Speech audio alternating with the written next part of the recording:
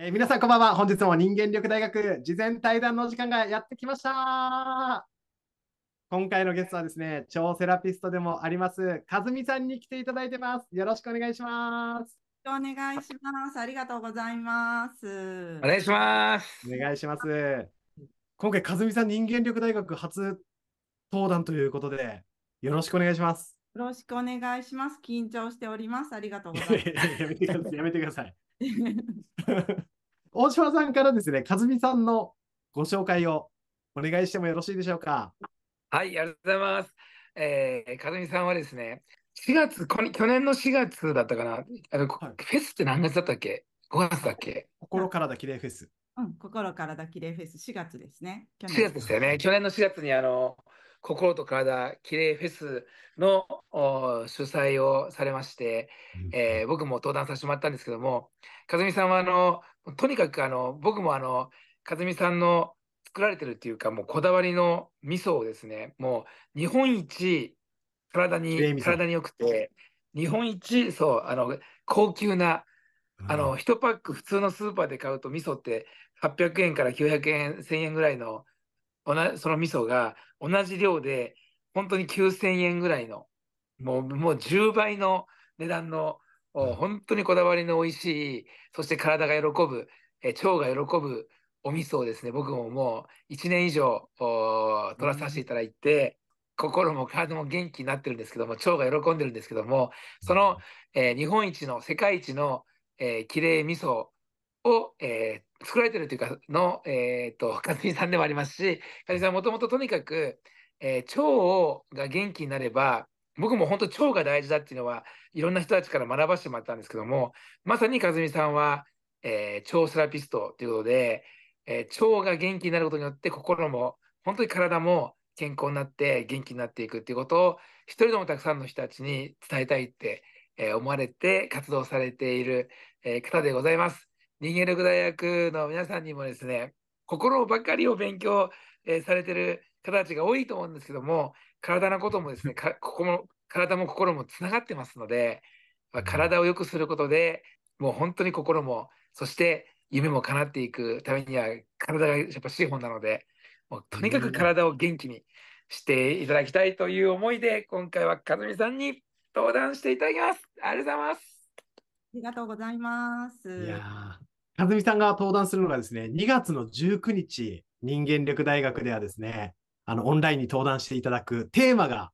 無敵の微腸生活。美しい腸ですね。微腸生活。免疫力、自然治癒力を高める5つの習慣という形で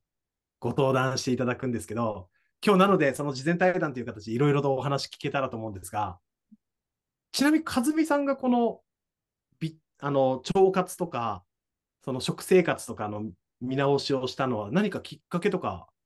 あったりするんですか？ありました、ありました。あの、私、20代、私、まあ、もともと食いしん坊、すごい食いしん坊だったんですよ。で、あの、若い頃は、もちろん、あの、健康のこととか、食のこととか、学んだことなかった。まあ、学校で教えないですよね、結構ね。そうですよね。あ確かであのまあ、普通にあの OL になってなんか美味しいもの食べに行ったりとかしてたんですけどあるとで、まあ、当時はあの放送局の OL だったんですけど外食とかも多かったりとかあとまあうち両親が多分共働きだったりとかもあると思うんですけど20代半ばぐらいの時に気候治療を、まあ、ちょっと調子も悪かったんですよ、その時。あの、はいはい今はお肌すごい綺麗だってよく言っていただけるんですけど、お肌もブツブツで、毎年花粉症になる、で、病院、あの、風邪ばっかりひく、だからしょっちゅう病院行ってるみたいな、そういう感じだったんですけど、ある時、あの、人から誘われて、気候、気候の、気候って習う、あの、はい。そうそれに行ったら、その先生がちょっと見える系の方で、で、その初めて行った時に、君、このままだと大腸がんで死ぬよって言われたんですよ。え？衝撃だったんですけど、20代半ばで、でも、私、なんか、あの、ちょっと、そう言われて、はってなる、あの、思い当たる節はいくつかあって、えで、で、それをきっかけに、で、まだな、あの病院とかで診断されたわけじゃないないけど、多分その見える系の人だから、先々を読んでて、このままだと危ないよって言って、で、そこから私も食について学ぶようになって、で、食も変えたんですよね。例えば、それこそ、あの、朝はパンとコーヒーとかコーヒー牛乳とかそういう生活だったのを玄米のご飯とお味噌汁とかっていう風に変えたんですよ。本当にもう食用上っていう感じで。で、そうすることによって、あの、どんどん私も元気になっていったし、お肌もすごい綺麗になっていったし、っていう、それがすごく大きなきっかけだったんです。へえ。そこから、はい。は変わらないんだけど、食いしん坊の健康オタクになったんですよ。え、でも僕なんかあの、和美さんのビフォーアフター見たんですけど、昔のやつと体重十何キロとか変わってましたよね。はい、違いますね。ただ、あの時は、すでに健康オタクにはなってたの、ある程度。うん、うん、うん。でも、あの、やっぱり世間一般で言われるような、あの、健康情報を結構鵜呑みにしてやってたから、一一応健康オタクだけど、なんちゃって健康オタクみたいな感じで、まあまあぽっちゃりしてましたよね。今より10キロぐらいは、あの、丸々してたんで、うんはい。と大島さんもきれい味噌とか使っててどうでした？実際。いや僕はあのやっぱりその和美さんのセミナーもやっぱり聞いたこともありますし話も聞いたことあるのでやっぱそのみんなに知ってもらいたいですよねそのやっぱ腸腸がどれだけ心との関係性心にも関係してくるのかっていうかやっぱそのセロトニンとか僕もやっぱり脳のことも勉強させてもらってるのったのでセロトニンっていう幸せ幸福ホルモンをたくさん出すためにはやっぱり腸がいいかに元気な状態っていうか、本当にいい状態で、健康の状態で腸が働いてるかってすごく大切で、ほとんどの人たちは腸の働きがもうだいぶ低下さされてて、今の食生活、一般的な食生活だと、あの、本当腸が疲れてる、えー腸が喜んでない、体が喜んでないっていうことに、あの、本当に僕気づかせてもらったので、やっぱもっとやっぱ体を大事にしていかないといかんなっていうかね、うんあの、本当そう、すごく思います。今の日本人の、やっぱり、食生活はやばいっすよね、和樹さんね。うん、あの食事もそうだし、あと最近特にあの私があちょっとこれどうにかならないかなっていうか、まあ、周りの人には言ってるんですけど、例えばコロナとかで殺菌、除菌うんうんでうんやっします、します。でしょ？だけど私たち方やあの腸内細菌増やしたいですねって言ってあの菌活してるじゃないですか。あ、いい菌を体の中に増やすっていう。だけど、やっぱ除菌殺菌しすぎることによって、必要な菌まで殺しちゃってるっていうのもあるんですよね。なるほど。体の中にもともといるような、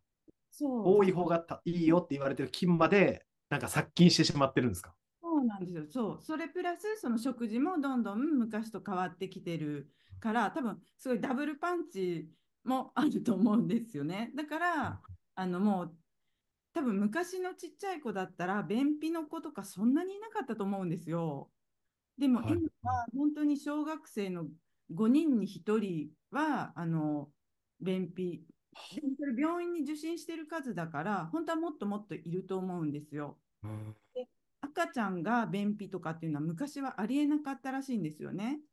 でも今あるんですか？うんうん今ではいるらしいんです。だから要はお母さんがお母さんの産道を通ってきた時にあのお母さんのあの腸内細菌を浴びて子供はやっぱりあの自分の腸内細菌を育んでいくんですけどやっぱその母体自体があの若いお母さんも便秘の方多いんでね、うん、だからどうしても子供も赤ちゃんも便秘でになってしまうとかっていうケースもあるんですよ。そしてこの、あの、さっき大島さんが言ってたみたいに、結構その体のことと、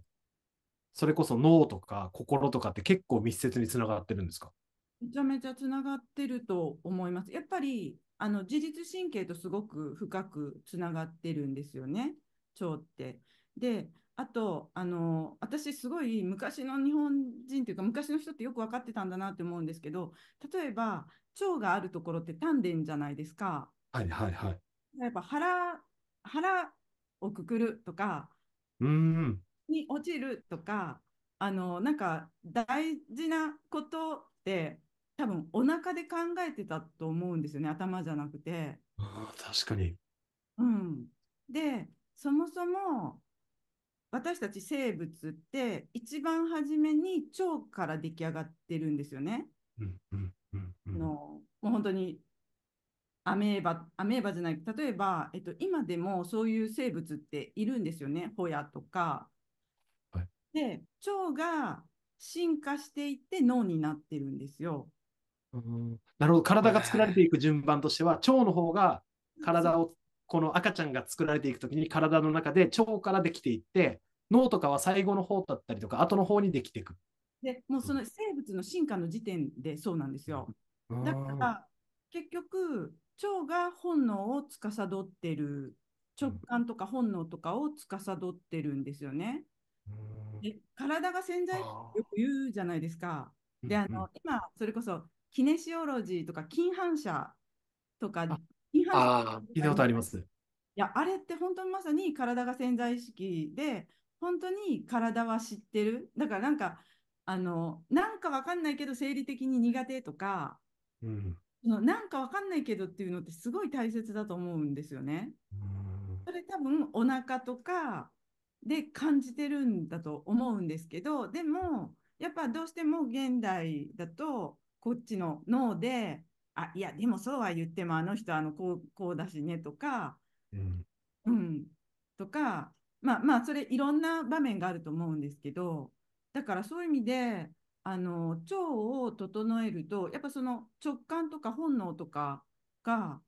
あの使えるようになるしだから私すごいあの直感鋭いし野生的だとやっぱ周りの人に言われるんですよね。でもまあ自分でも実際そう思うんですけど、うんうんうん、でもそれは健介さんもそうだなってやっぱ思います。それはきれい味噌のおかげです。いや、もう本当に。いやきれい、きれい味噌でさらに腸が元気になってるので、だから直感が働いてるんだなって今結びつきました。